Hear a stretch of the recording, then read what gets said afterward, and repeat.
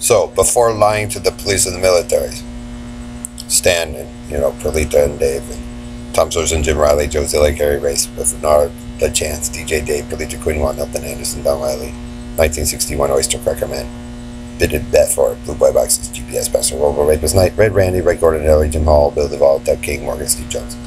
Before you guys lied to the military, All American, and Stan,